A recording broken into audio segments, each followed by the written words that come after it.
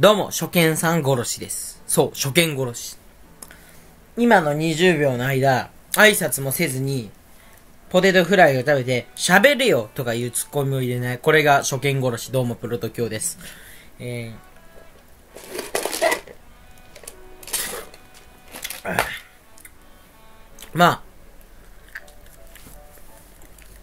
あ、なんか、雑談すする TV さんが最終回ですって言って、今までありがとうございましたって言って、終わるは終わる詐欺すんなよっていうコメントをしてるやつ、大体、えー、すする TV 見るの初めてっていうことがバレバレだよね。度がさすは無事さ、文人さ、バレバレってことだ。すする TV、する TV、にわか勢ってことがバレちゃってるよね。ていうかさ、メグインさんはオワコンでも面白いじゃん。俺面白いと思うよ、メグインさん。オワコンだけどね。まあ、メグインさんっていうのは、あの、メグインファンっていうのは、あの、メグインさんを面白く見るって気には、なんだ、自分の面白いもの作れっていうところじゃなくて、心をね、深く深くなればなるほど面白くなるんだよ。心をね、あのなんつうんだろうな、心を深くっていうか、なんだ心を大きく、大きい人が見ると面白く感じると思うし、というか、それじゃなくても俺面白いと思うんだけど、まあ、一回飽きられんのがね、やっぱアメリカ留学とか行ったからオワコンになったんだよ。でも誰も、だって言ってんじゃん。あの、オワコンイコールつまんないっていうのは違うんだよ。大体の人に当てはまるんだけど、メグインだけは違うんだよね。メグ、え、3。ごめんなさい。メグインさんだけはね、オワコンなん、オワコンはオワコンだけどさ、面白いと思うんだよ、俺は。まあ、オワコンの定義っていうのが、まあ、ほんと再生回数が全然取れなくなったらだよね。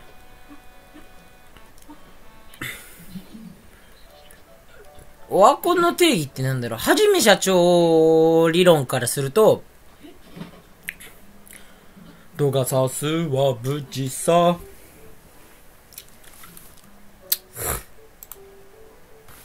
まあ、はじめ社長理論でやると、うん。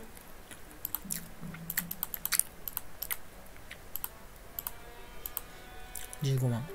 あー毎回15万再生以上いかなかったら、俺はそれをオワコンだと思う。毎回15万以上、最低15万。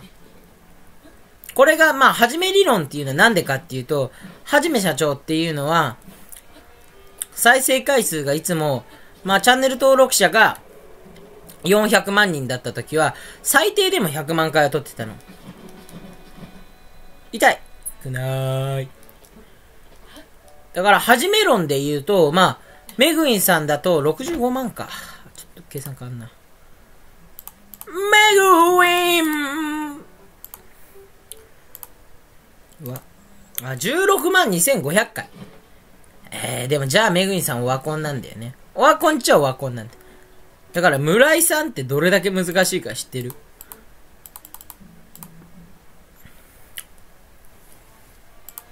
あ、14万人じゃなかった。140万人だよ。マグウィンなんかおかしいな、いろいろ。140割る4は。あー村井さんで言うと35万回整数以上再生回数を取らないとそれはオワコンなのかな多分オワコンですね。まあ、これが定理ですね。俺はこれがオワコンかオワコンじゃないかの、を決める定理だと思ってる。自分の中ではね。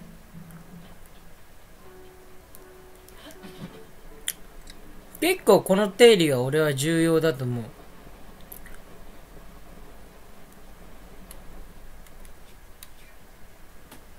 あ、そうだ。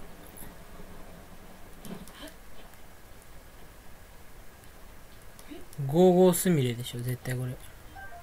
ほらゴーゴースミレって、なんか敵陣地に行くと音楽が不穏になるんだよね。でんでん。あ、あれは夜だからか。夜になるとあの音楽。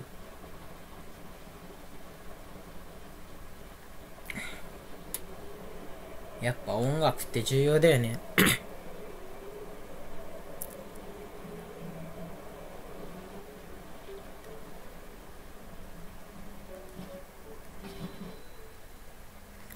グウィン、グウィン TV、あ、あ、あ、でもメグイン TV がつまんなくなったのは、でもオワコンになったのはやっぱりアメリカ留学とかして、まあ、なんか視聴者のどうでもいいことばっかしちゃったのは原因だよね。やっぱあれが一番の采配ミスなんだよね。でも、メグインさんは人気動向とかじゃないって言ってたね。その、まあそれは再生数で稼ぎたいけど、そんなことよりも、死ぬまで YouTube やりたいっていう目標だから、最終目標はそれなんだって。今の目標は馬主になりたいって言ってたから。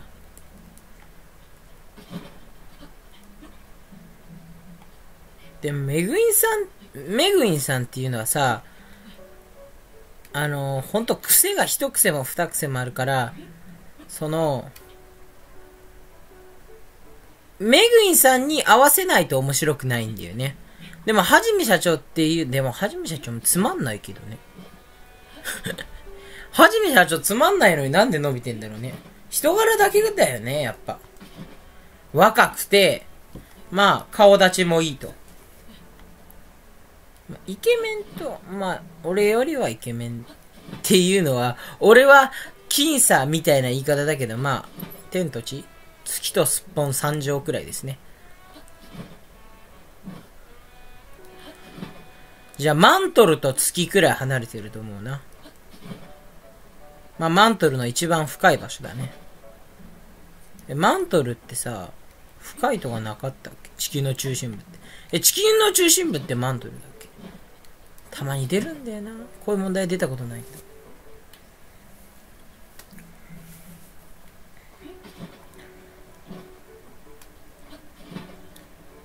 マグウィンおえあ、これネルドラか？絶対ネルドラじゃないな。フロドラ、ネルドラ、もう一つ。ライドラみたいな。まあ、あいつの角をね、ガツンと射抜けばいいんだよ。いいんだよ。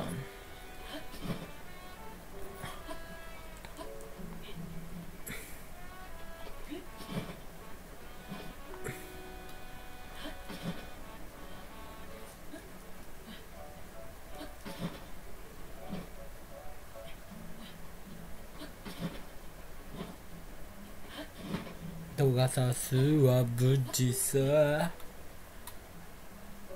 メッキーマウスメッキーマウスメッキーメッキーマウスメッキーマウスメッキーマウスメッキーメッキーマウス魅惑の美声ボイスメッキーマウメッキーマウメ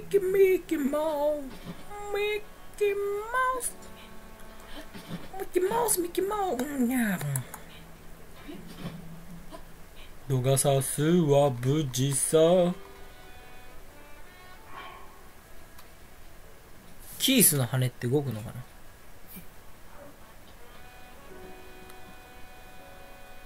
これを実験だ。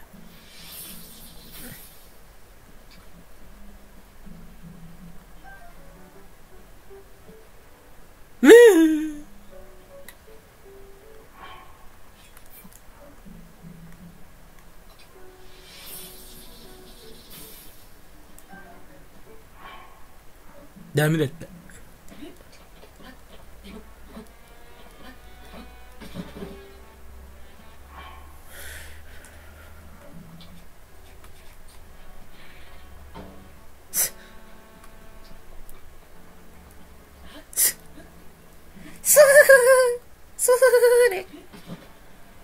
スフレ参上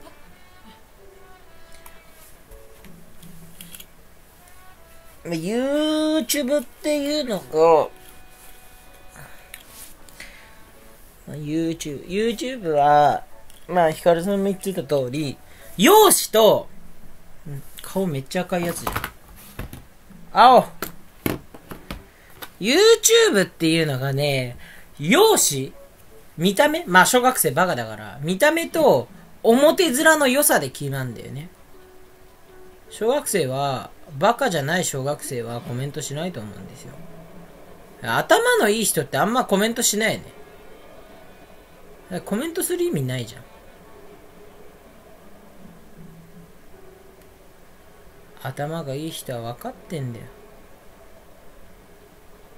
バカだけだよ、コメントしてんの。って思うけど、それはね、違うんだな。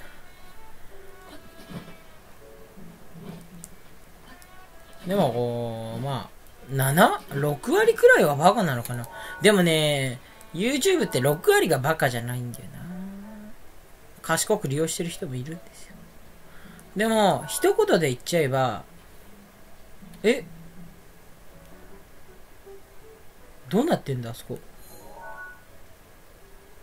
なんだあれ？あ、あれが10日。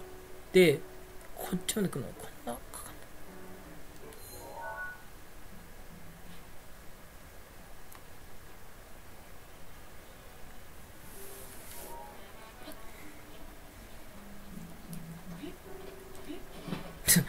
か余談だよな、いつも。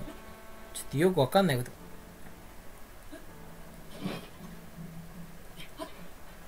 YouTube ってやっぱ、うーん、所属してるところによるよね。和也さんの動画コメントなんかっていうのは、あの、まあ、極右の人だったり、あ、これ、まあ、まあ、どっちかって人だから、まず、和也さんの動画見てる年齢層はまず、ほぼ男性で、女性もいて、多分年齢層結構高めって言ってたから。まあ、和也さんは小学生は見ないよな。俺ずっと和也さん見てんだよね。そう。和也さんいつから見てんだろうな。わかんないな。2年前くらいからなのかな。多分、それくらいだと思う。その、その3年前、もう、スタート時から俺は見てないんだよ。な、何で見始めたか忘れちゃったんだよな。一番見始めた回が面白かった気がする、一番ね。まあ安定して面白いんだけど、和也さんって結構面白い。まあニュースを面白おかしくしてくれるから、バカな俺でもね、見やすい。その、武田なんとかさんだっけ？ああ、もう漢字読めない。頭悪い。頭弱い。頭弱いからわかんない。武田さんとかっていうのは、面白さはまあまああるんだけど、真面目にしっかりとって感じだから。まあニュースっていうのを面白おかしくできるのはね、まとめしか読んでねえやつとか言ってるけどさ。でも何でもね、あのー、一番目が流行るんだよ。そういうものっていうのはどんなに技量があったとしても、そういうニュースってね、やっぱね、ブサイクって辛いわ。ブサイク、ブサイクデブっすよ。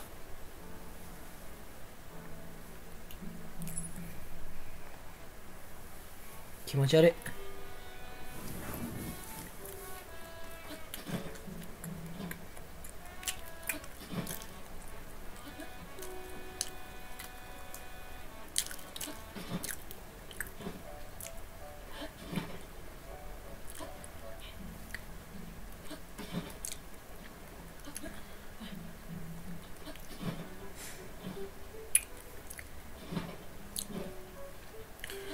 あ、信者っていうのは、まあ、全てに対して中立な意見じゃないよね。この人の言うことは全て正論みたいな感じが、とか思ってる人は信者なんだよ。ただ好きって言ってる人はファンだよ。だから、アイドルオタクってほぼ、アイドルオタクっていうのは信者、アイドルオタク自体に信者いないでしょ。アイドルっていろんなものがあるから、だから、ジャニーズの中でも嵐ファン、TOKIO ファンとかね、チョイス古いな。平成ジャンプとか。今なんだ、関ジャニとか。そのファンって言うけど、そういうアイドルの、そういう何々のグループのファンなんですっていう人は信者に多分近いと思うんだけどね。だってそうじゃん。なんとかロスっていう人はその人の信者だよね。結婚したらさ、ガッキーロスだっけ？もしガッキーが結婚したりしたら。それはもう信者だよ。ガッキーロスとかで、泣いちゃってる人は。それ結婚しても、これから頑張ってねって言える人は信者じゃないと思う。ファンだと思う。信者ってあんまいい印象は受けないけど。まあね、その、いや、プロト教の信者って言ったら、プロト教は喜ぶんだよ。まあ、バカな発言ばっかするんだけど、あのね、信者ってね、わりかし年齢層低いんだよね、はじめ社長とか。これ、はじめ社長ってやっぱ全然合わないんだよね。俺昔から見てるわけじゃないんだよ。はじめ社長が人気になり始めた頃。100万人行く一歩手前。まあ4年前か。でも俺明らかに4年前から見てるってことだよね。俺、はじめ社長って全然知らなかったんで、その頃。でも、はじめ社長面白いよねって言ってるけど、あんま面白くないんだよね。さあ、それはまあね、俺の好き嫌いが異なるから、YouTube の中でも。やっぱ、ウーム勢って俺ね、あんま面白いって思わないんだよね。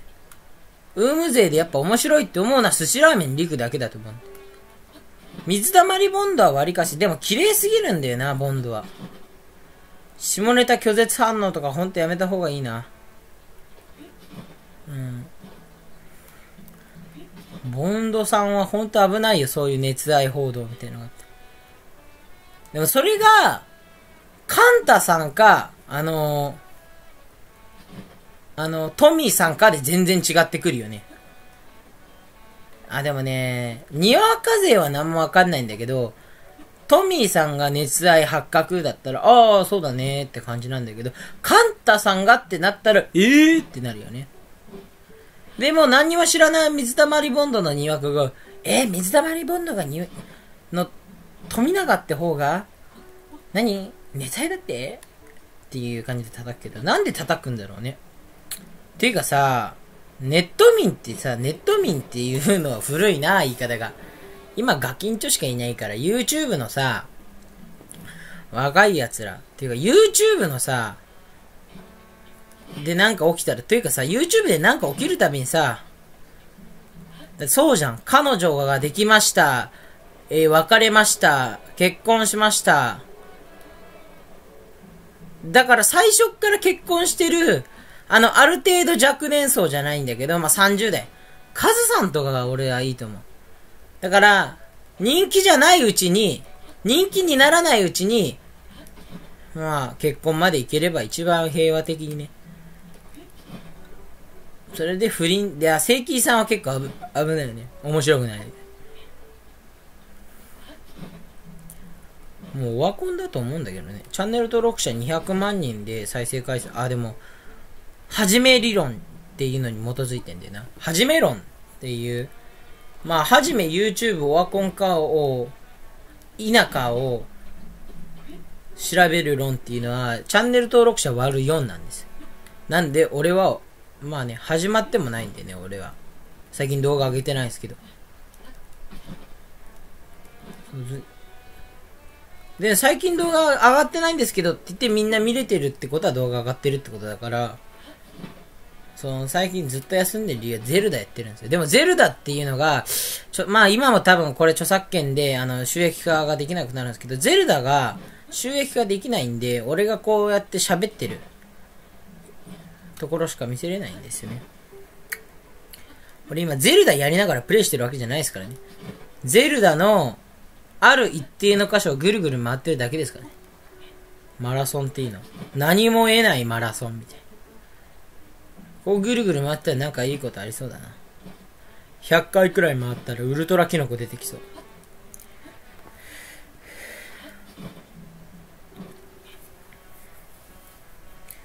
あ雨が多い理由は分かったなあっちの地方は断崖絶壁のあれがあるからだよ度がさすは無事さ。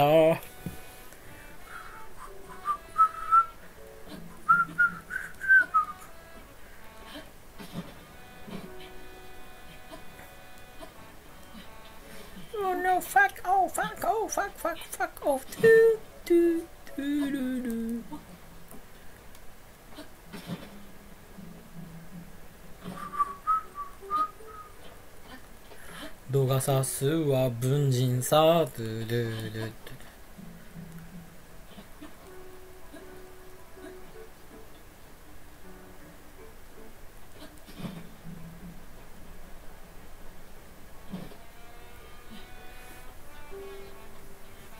なんつうんだろうな。はじめんが、まなみだっけ？っ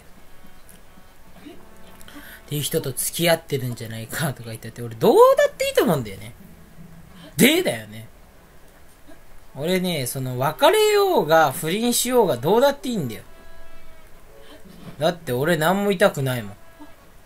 もし俺ヒカルさんのファンであろうと思う。俺ヒカルさんのファンとか、まあ、こう、あダメだ。名前を出していけない。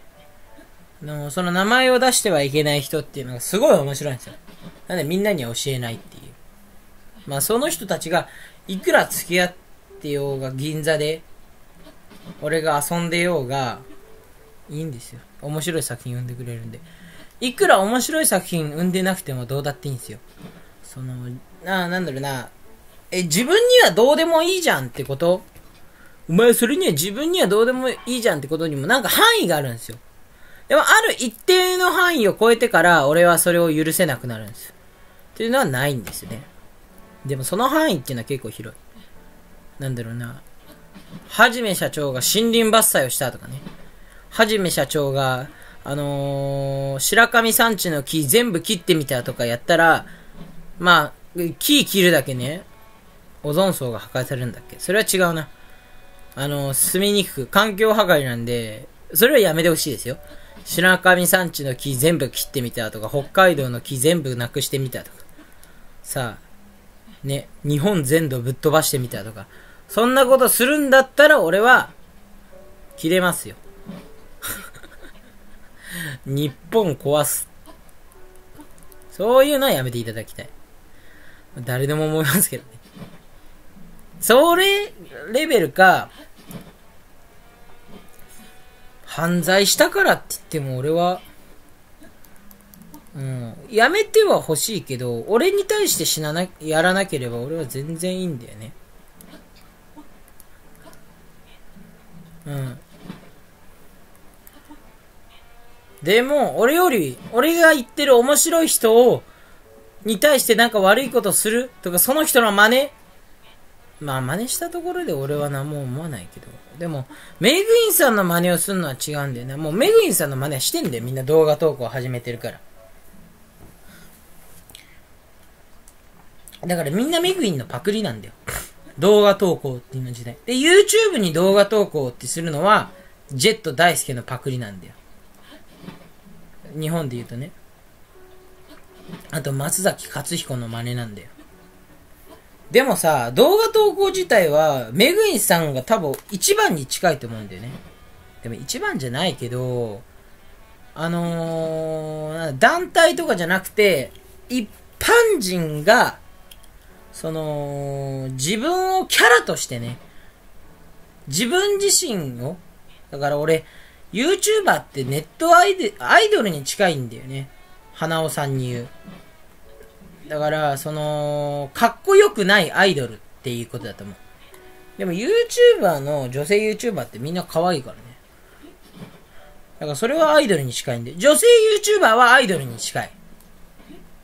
でも、男性 YouTuber っていうのがあんまりアイドルには近くない。あのー、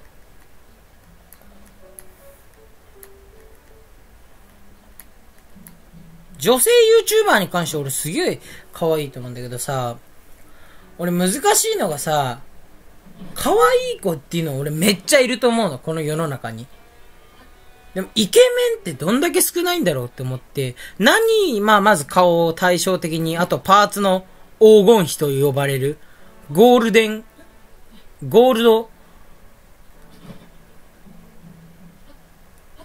ゴールドなんだろうな。まあ、ゴールドコーストがっていう人でね。じゃあ、ゴールデンヘッド、ゴールデンフェイス、ゴールドフェイスの人だね。ゴールデンフェイスの人。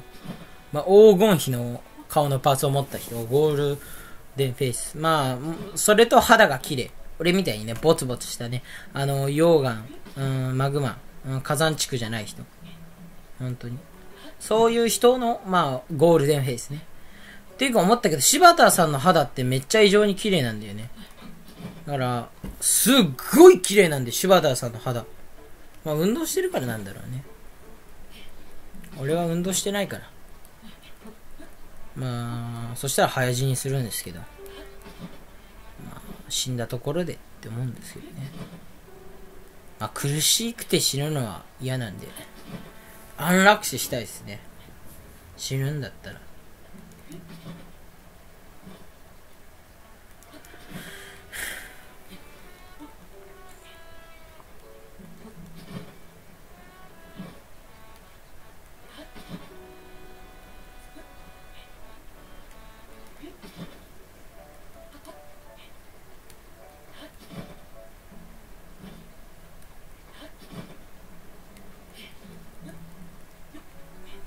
がさすは無事さ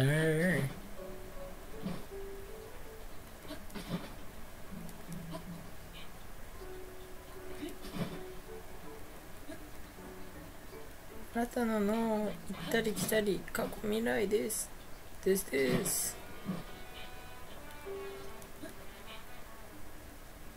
おフリーズしたかと思った。めっちゃ焦った焦った俺は何してんだろうな。そういう変な動きするのやめよう。そのバッテリーを無駄に消耗させる男ですね。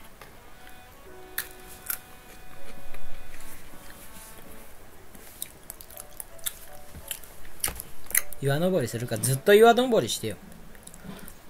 でその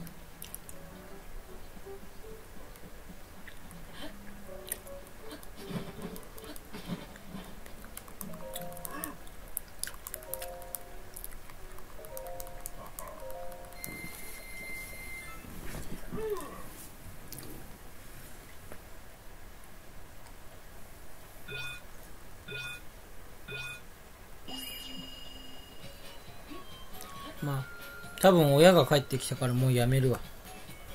あ、待って。ビビー。